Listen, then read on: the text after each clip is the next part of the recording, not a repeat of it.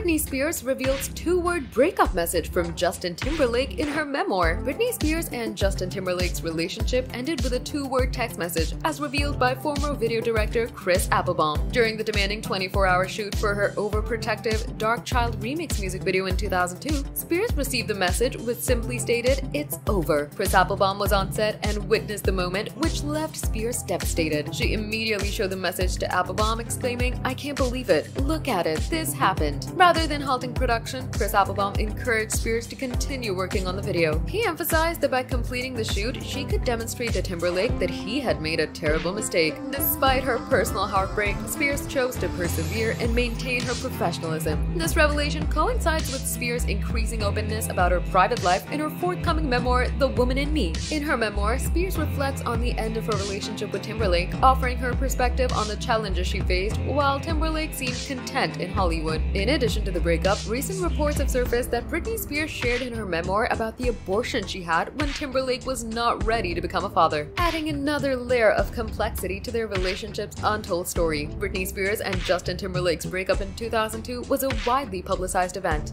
Stay tuned for the latest celebrity updates. Hit the subscribe button and ring the notification bell for all the latest news. Don't forget to show your support by giving this video a thumbs up and sharing your thoughts in the comments below. Bye.